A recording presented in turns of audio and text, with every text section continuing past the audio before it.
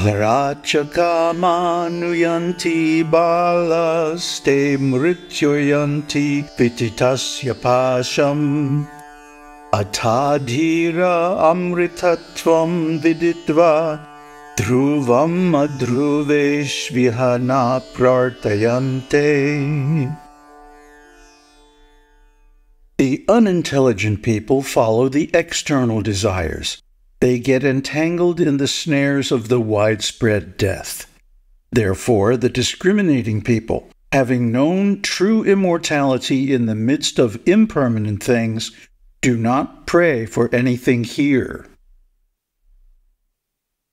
Now then, the natural tendency to perceive outwardly the things that are not the self is the cause of the obstruction of the vision of the self.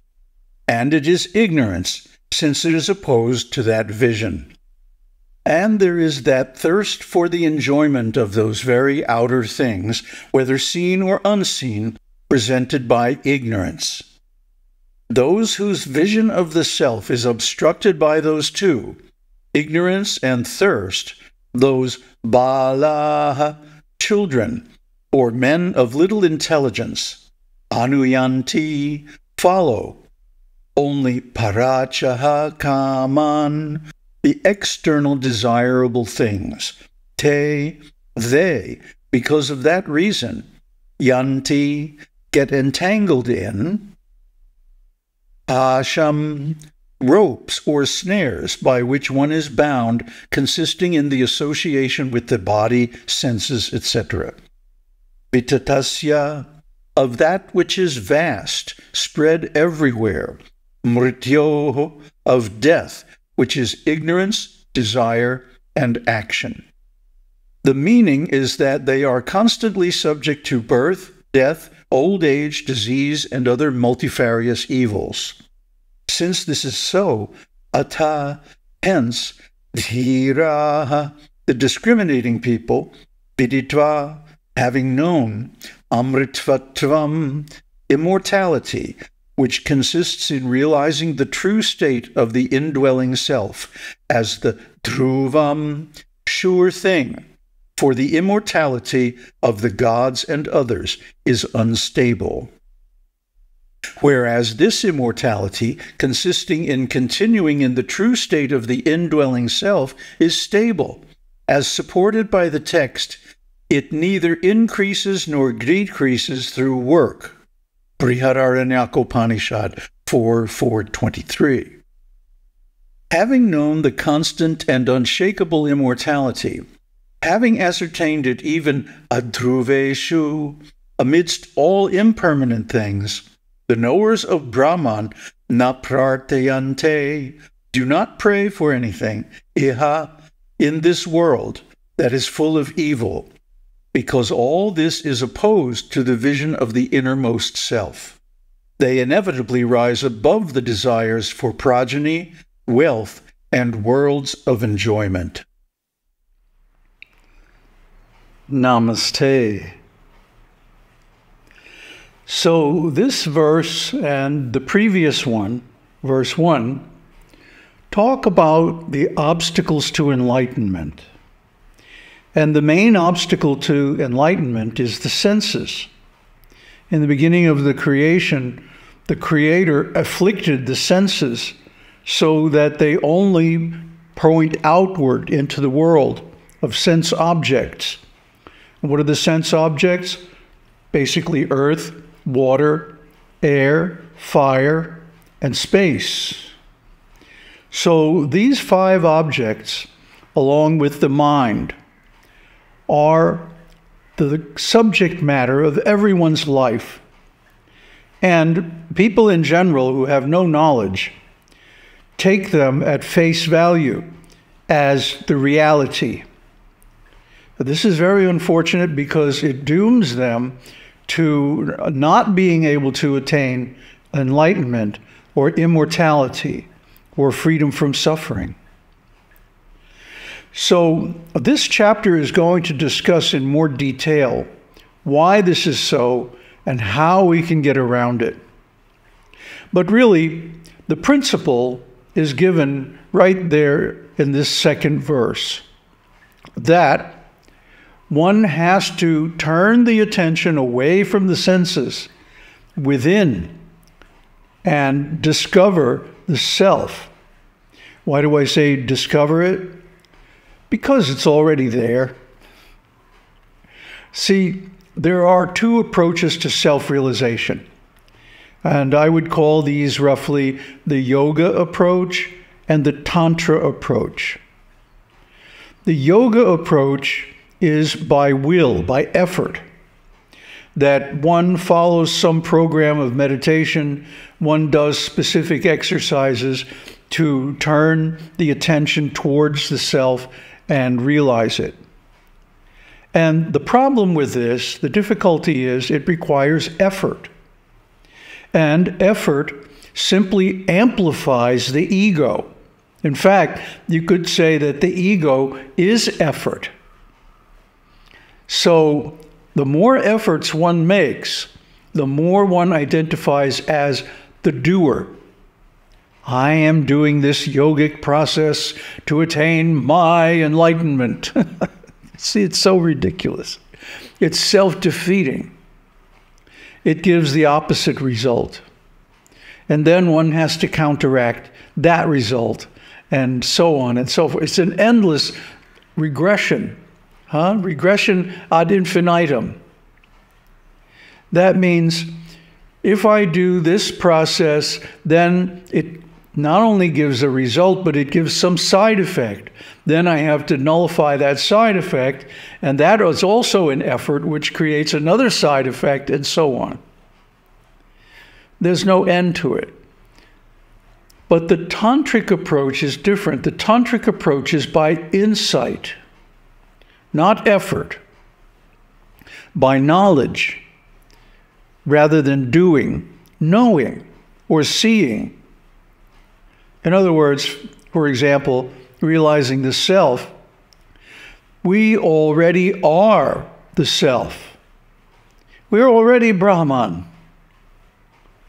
All we have to do is accept that.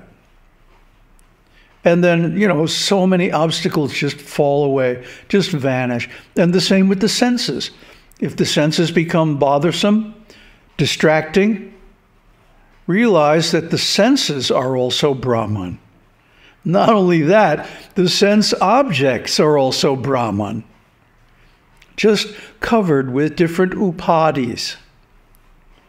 So, by seeing through the upadhis to the self, in other words, seeing through the imagination or the illusion to the reality, then one acquires the realization immediately without effort. Well, maybe there's a small effort of learning and becoming convinced of this knowledge. But once you accept this knowledge, and I mean really accept it, not try to see it as an alternative to the uh, consensus view of reality, external reality, but to replace that view with the internal view that everything is the self. That's what the Vedas say. Aham Brahmasmi, I am Brahman. Sarva Kalvidang Brahma. Everything is Brahman, whatever exists.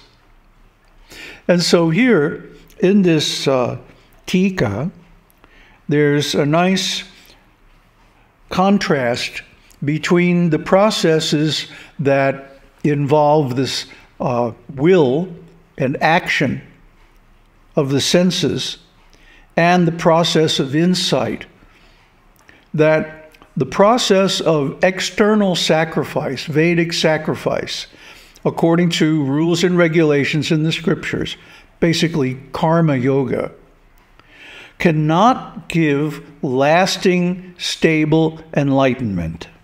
And he makes a quote from Brihadaranyaka Upanishad. Let's take a look at that quote in full. Yajnavalkya said, This is the eternal glory of a knower of Brahman. It neither increases nor decreases through work. Therefore, one should know the nature of that alone. Knowing it, one is not touched by evil action. Therefore, he who knows it as such becomes self controlled, calm, withdrawn into himself, enduring and concentrated, and sees the self in his own self, body and mind. He sees all as the self. Evil does not overtake him but he transcends all evil. Evil does not trouble him, but he consumes all evil. He becomes sinless, taintless, free from doubts, and a true Brahmana, knower of Brahman. This is the world of Brahman, O Emperor, and you have attained it. Brihadaranyaka 4 4 23. So basically, Brahman does not increase or decrease through work. Work means action of the senses in the world on their objects. So, of course, the standard system of Vedic sacrifice, Agnistoma and so on, Agnihotra and so on, these are all done with the senses, using the objects in the world. They're a form of work. So work cannot increase or decrease Brahman. Either pious work or impious work has any effect on it. Brahman is simply there, it's already the self.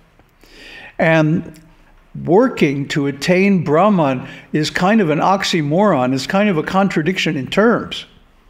Because Brahman does not work, is not a cause of work, is not a result of work, is not the object of work, and can never be any of these things. Because Brahman has no relation to anything else. Aham Brahmasmi. See, if we simply accept this as insight and look at reality with this view, then everything falls into line automatically, effortlessly, and perfectly. But then he goes on and he talks about the knower of Brahman. The knower of Brahman attains immortality effortlessly, without work. And the nature of his immortality is completely stable. It's called here dhruvam, Dhruva, by the way, is the name of the pole star. We call it Polaris in the West, but in India it's called Dhruva. Why? Because it means that which does not move. The whole heavens revolve around it, and it stays exactly where it is. So this is Dhruvam or Dhruvaloka. So the immortality gained by knowledge and realization of Brahman is dhruvam. It never changes. Whereas the enlightenment and the liberation, the release by work, by Vedic sacrifice, is temporary because one goes to the heavenly planets, and then when the results of one's pious activities are exhausted, one falls again back to the earth and has to take a human birth. But that's not true of those who attain enlightenment through knowledge of Brahman. They become Brahman, or rather realize they are already Brahman. Right here, right now, in this life, in this body. And then they have no next life. There is no next birth. There is no next world. They are already in the world of Brahman by their very insight, by their very consciousness. Because actually, all consciousness is Brahman. All awareness is Turiya or Turiyatita. And all beings and all creations is nothing but the Supreme Brahman. Aum Tat Sat.